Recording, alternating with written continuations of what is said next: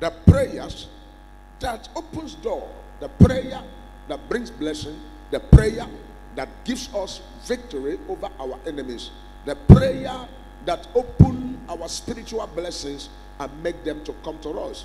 Because every Thursday we are here to pray, but our prayer here is not just to come and entertain ourselves and go. Our prayers here is to come and equip ourselves and be spiritually loaded so that when we get out there in our place of business or in our houses, we can demonstrate the power of God. We can show the world that we are truly who we call ourselves. A child of God can never be seen as a child of God until you manifest those things that make up God Himself. A child of God in the midst of the unbelievers is not a child of God until he manifests the qualities of God in his or her life. A child of God is not powerful until that child of God demonstrates the power of his Father, God Almighty. And so you can be a child of God and a believer, but you are lacking a lot of things in your life. So, me preparing you with this message this morning is to quickly equip you because definitely you are going to conquer all your enemies in the name of Jesus. You are going to conquer all your enemies in the name of Jesus. Amen. Turn with me to the book of James, chapter 5, verse number 14. He said, Is any sick among you? Let him call for the elders of the church and let them pray over him, anointing him with oil in the name of the Lord. 15. And the prayer of faith shall save the sick, and the Lord raise him up. And if he have committed sin, they shall be forgiven him. 16. Confess your fault one to another and pray one for another that ye may be healed. Effectual fervent prayer of a righteous man availeth much. Praise God. Hallelujah. And then 17 he said, Elijah was a man subject to like passion as we are. And he prayed earnestly that it might not rain. And it rained not on the earth by the space of three years and six months. Verse 18. And he prayed again, and the heaven gave rain, and the earth brought forth her fruit. Praise Master Jesus. I'm taking it from where it says, the effectual fervent prayer of a righteous man availeth much. In other words, the prayer of the believers are answered. It does a lot of things. If a believer will understand the kind of prayer that God wants us to pray, the way we need to pray, and the way we should take our prayers. Not just a believer praying, but a believer should understand that there are ways we need to pray and receive answer to our prayers. I know that so many uh, uh, lectures or so many messages or preaching has been given over the years about this very prayer that brings answer or prayer that brings blessings. I know that many of us has been under uh, the tutorship of lot of men of God and they have taught us several ways we need to pray and several ways we must pray our prayer to receive answer. But I have a different thing altogether to present to you so that you will know that prayer is not what people think they are. Because I've seen a lot of people that don't sleep in the night. Every night they must start from 12 uh, a.m., 12 midnight. They will pray till 5. Every day by day. Every day by day. Every day by day. And such prayer, I expect that such a prayer should be able to, to, to, to move the whole mountains in the world. But such prayer, they will pray it at the end of it all, nothing to show for. So, child of God, is important that we begin to look at ourselves. How do we now begin to pray? This portion of the Bible I read has opened everything to us. But our understanding about what the scripture is saying will help us a lot. Because prayer before you open your mouth to pray, God already know what you want to pray for. As a child of God, before you say, Father, oh, heal me, God already know that you need healing. So, how are you going to pray for your healing to come? Number one, faith. Faith. Faith is what Jesus was teaching the people, and he said to them, If you have faith, you will say to this mountain, Be removed and cast into the sea. He said, The mountain will be removed and cast into the sea. But if you don't have faith, even if you say to the mountain, Be removed and cast into the sea, mountain will not move because you don't have the faith. Now, the faith aspect, how do we know what is called faith? Because most of the times we read about faith, faith, faith, faith. Faith is not how we read it. Faith is acceptance that this is already done. Faith means to accept that it is done the way you want it. Faith is to agree that something has been settled. The Bible says, Can two walk together? Two cannot work together except they what? They agree. If God say, I'm going to do a miracle in your life, I'm going to bless you. If you don't agree with God, the blessing will never come. So faith there is that you have to agree to whatever you want to say or you want to pray. Whatever you want to ask, whatever you want to desire, before you desire it, before you pray it, before you seek for it, you have to first of all agree that's why in the book of Hebrews 11, the Bible started talking about faith. And he said, without faith, it is impossible to please God. Because when you don't agree, God will never be happy. Because God said, I will do. But you did not agree in faith with God, then God will be angry.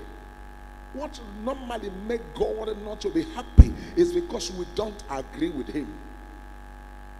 If I say I'm going to jump from here to here and I agree with God, before I jump, God has already made the jumping easy for me.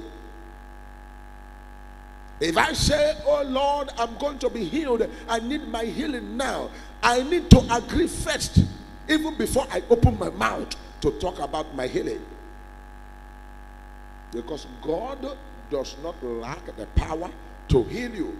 God does not lack the power to prosper you. God does not lack the power to make a way for you. God does not lack the power to supply to you. God does not lack the power to give you what you're asking for. But what makes it impossible is our unbelief. We never believe it can be done.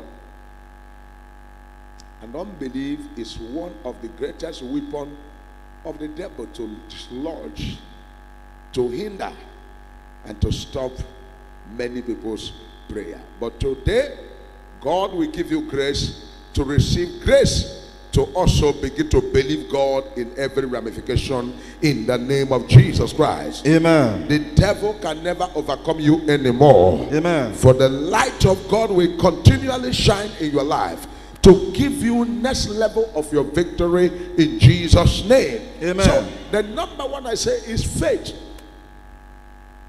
The faith which has to do with agreement with God, which has to do with believing that God will do it, which has to do with you accepting it first before you begin to pray. Anything you know that you will not accept, don't pray it. Because when you are praying it, it's like you are trying to argue with God or struggle with God. Whatever you know that you are not going to believe, don't ever try to play, pray it. Because you praying it means that you are trying to force something you don't agree.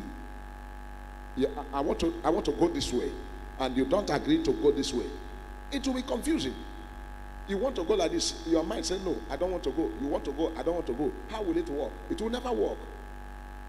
So the prayer that brings blessings on our way is the prayer of faith. That is why he made it very clear here. He said, And the prayer of faith shall save the sick, and the Lord shall raise him up.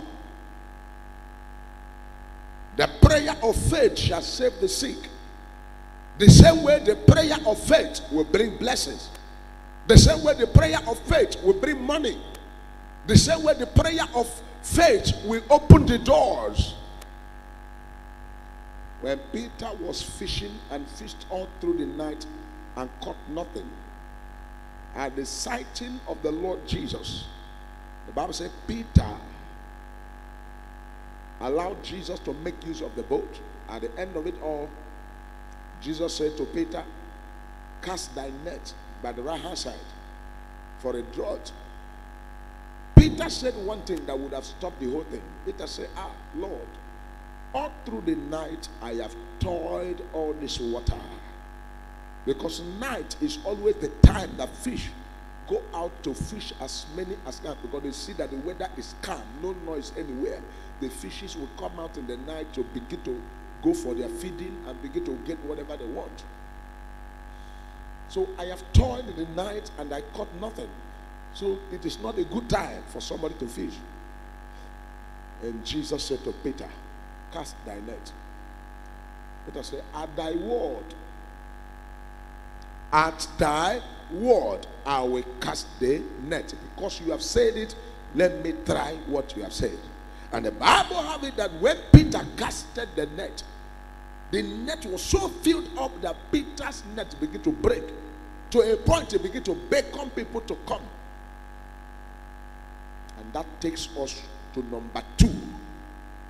Number two says, Word of God, praying by the Word of God. Number two way you can get your blessings in prayers is to pray by the Word of God. To pray by the Word of God. Many people are called the children of God, but they never believe in what God said. They look at it, ah, but this word God is saying is very, uh, is, is not, is not right. I don't think it's supposed to be. Love your enemies and pray for your enemies. Uh, how can I love my enemies and pray for my enemies? Enemies that want to kill me, how can I love them? How can I pray for my enemies? You will hear such a word and you say, No, no, no, no, no, no, I don't want to pray for my enemy. No, no, no, how can? You know what he did to me? But the scripture says, pray for your enemies. It is the word of God. The word of God says, pray for your enemy because by so doing, even if you don't know, he explained it. He said, by praying for your enemies, you are bringing the coal of fire on their head. Somebody is busy going about. Say, ah, that woman, I want her to die. What is this? I don't want to see her. I don't want to. She no go succeed. This man no go succeed. As he's busy going there, we are praying, God, I hand over to you. God, forgive her. God, take control. God, do this. As you are praying that prayer, God looks at your prayer and says, No, such a wickedness cannot come to this person. This is a righteous person. I cannot allow this person to harm my daughter. And when they now propose evil, the evil they propose now backfire them. And that is where the scripture now took us back. He said, For the fervent, the effectual prayer of the righteous man availeth much. You are now seen as a righteous person because the way they are taking it is not the way you are taking it. Your own way is quite different. So you have to listen to what God is saying about every situation you want to pray about. You want to pray to eliminate and end poverty in your life then you have to listen. What is God saying about poverty? What is God saying about financial open door? What is the word of God saying about me in times of financial open door? What am I doing? And what is the word of God saying about what I'm doing? Then you kill yourself there. You begin to pray that way. You begin to speak the word of God into your life, into your business, into your finance, into your destiny. You begin to declare the word of God in everything that your hand is touching. You begin to declare the word that will change your story and change your life and change your future. Not the word when you come to pray, you lack the word of God. When you come to pray, no faith.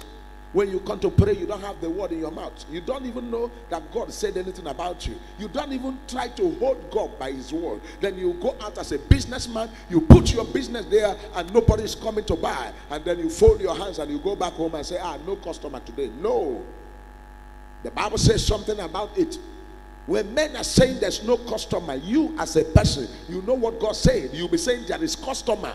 Don't speak on the direction of those that doesn't know God.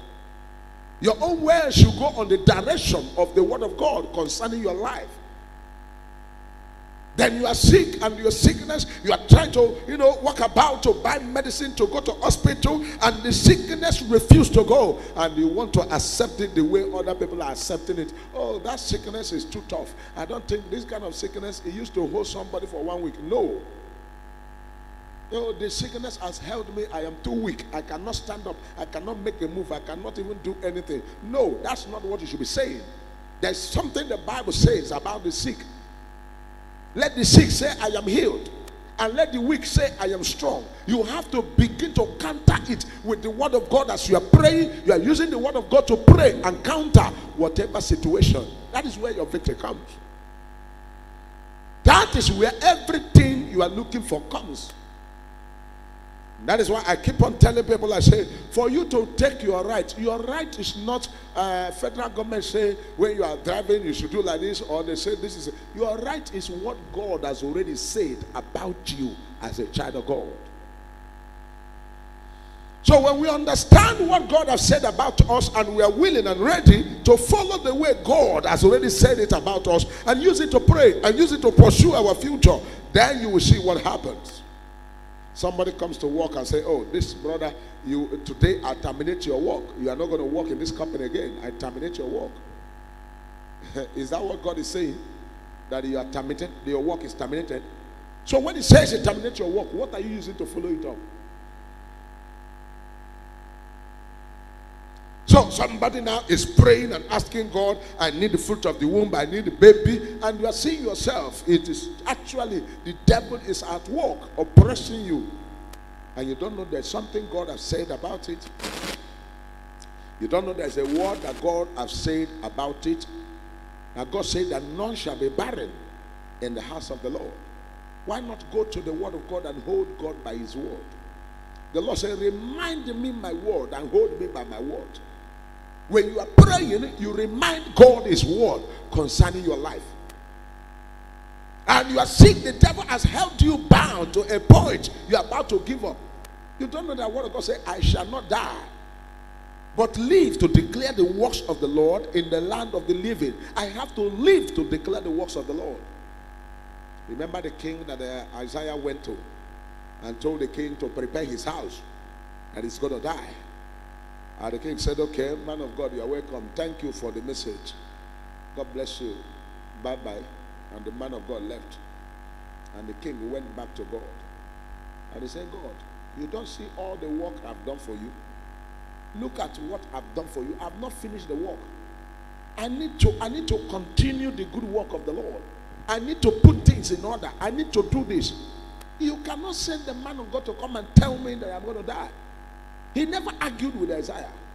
But he knows his right in the word of God and what God said about the righteous. And they begin to move on the word to hammer God on what God has said.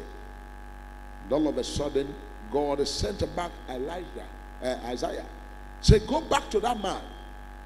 The man you give message now, go back to him. Tell him I've added 15 years more. Hallelujah. Somebody, hallelujah.